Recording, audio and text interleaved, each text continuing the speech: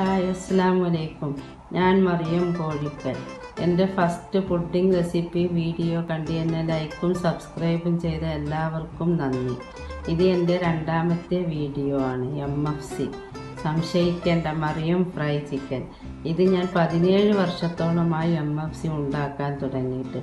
അന്നും ഇന്നും എന്റെ ഫാമിലി ഒരുപോലെ ഇഷ്ടപ്പെടുന്നു എം എഫ് സി ഇനി എം എഫ് സിയിലേക്ക് വേണ്ട ഇൻഗ്രീഡിയൻസ് എന്തൊക്കെയാണെന്ന് നോക്കാം. നാല് വലിയ പീസ് ചിക്കൻ എടുത്തിട്ടുണ്ട്. ഇതൊരു അരമണിക്കൂർ മുമ്പ് ഒരു ടേബിൾ സ്പൂൺ വിനാഗിരിയും ഉപ്പും ചേർത്ത് മാരിനേറ്റ് ചെയ്ത് ഫ്രിഡ്ജിൽ വെക്കുക. പിന്നെ garlic powder one tablespoon ഉപ്പ് ആവശ്യത്തിന് ജിഞ്ചർ രണ്ട് ടേബിൾ സ്പൂൺ മുളക് പൊടി ഒന്നര ടേബിൾ സ്പൂൺ ഗോതമ്പ് പൊടി ഒരു കപ്പ് മുട്ട ഒന്ന് chicken stock oil to fry ഇത്രയുമാണ് ഇതിന് വേണ്ട ഇൻഗ്രീഡിയൻസ് ഇനി നമുക്ക് എല്ലാ ഡ്രൈ ഇൻഗ്രീഡിയൻസും ഒന്നിച്ച് ഒരു ബൗളിലേക്ക് മിക്സ് ചെയ്യാം. ഗോതമ്പ് പൊടി മുളക് പൊടി ginger powder garlic powder chicken stock ഉപ്പ്. ഉപ്പിടുമ്പോൾ നമ്മൾ നല്ല സൂക്ഷിക്കണം. കാരണം ചിക്കൻ സ്റ്റോക്കിൽ ഉപ്പുണ്ട്. നേരത്തെ നമ്മൾ ചിക്കനിൽ കുറച്ച് ഉപ്പ് പുരട്ടി വെച്ചിട്ടുണ്ട്. അതുകൊണ്ട് ഉപ്പ് കൂടാതെ നോക്കണം. ഇത് നന്നായിട്ട് കൈ കൊണ്ട് മിക്സ് ചെയ്യുക. ഈ പൊടികൾ നന്നായി കൈകൊണ്ട് നല്ല മിക്സ് ചെയ്ത് ചിക്കൻ സ്റ്റോക്കൊക്കെ നല്ലോണം പൊടിച്ച് ചേർത്ത് ഉപ്പുണ്ടോ നോക്കിയിട്ട് ഇല്ലെങ്കിൽ നമുക്ക് ഉപ്പിട്ട് കൊടുക്കാം. ഇനി നമുക്ക് നമ്മുടെ ചിക്കൻ ഓരോ പീസ് എടുത്ത് മുട്ട പൊട്ടിച്ച് അത് നന്നായിട്ട് ഡിപ്പ് ചെയ്ത് നന്നായി ഡിപ്പ് ചെയ്തിട്ട് നമ്മുടെ ഈ ഡ്രൈ പൊടിയിലേക്ക് ഇട്ടിട്ട് നന്നായിട്ട് മിക്സ് ചെയ്യുക.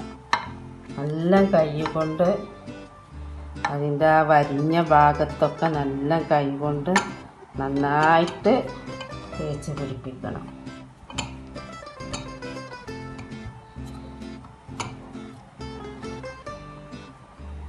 നമ്മുടെ ഓയിൽ ചൂടായി തുടങ്ങുന്നുണ്ട്. നല്ല മാക്സിമം നമ്മളെ കൊണ്ട് കഴിയുന്ന രീതിയിൽ ഉള്ളിലോട്ടും പുറത്തും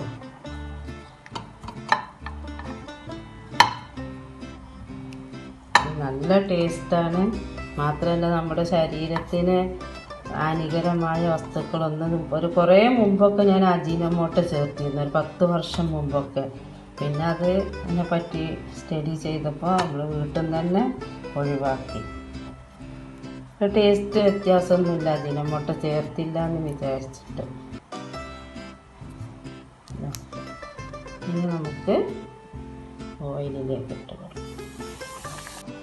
നമ്മുടെ ചിക്കൻ റെഡി ആകുമ്പോഴേക്ക് നമുക്ക് അടുത്ത പീസ് ഇതുപോലെ തന്നെ മുട്ടയിൽ ഡിപ്പ് ചെയ്ത്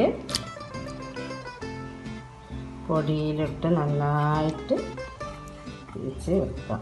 അപ്പോഴേക്കും നമ്മുടെ മറ്റേ ചിക്കൻ ആവും. പക്ഷെ ഒന്നിച്ച് ചെയ്ത് ഒരിക്കലും വെക്കരുത്.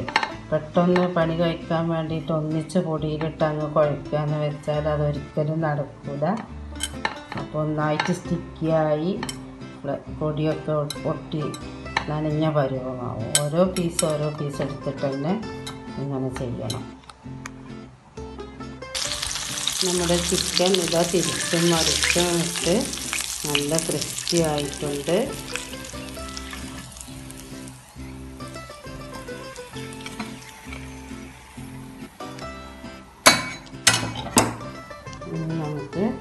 അടുത്ത പീസ് ഇട്ട് കൊടുക്കാം.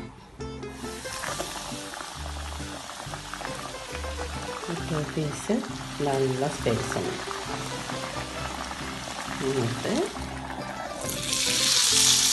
കുറച്ച് നേരം മൂടി വെച്ചിട്ട് മറിച്ചിട്ടിട്ട് നന്നായി പൊരിച്ചെടുക്കുക.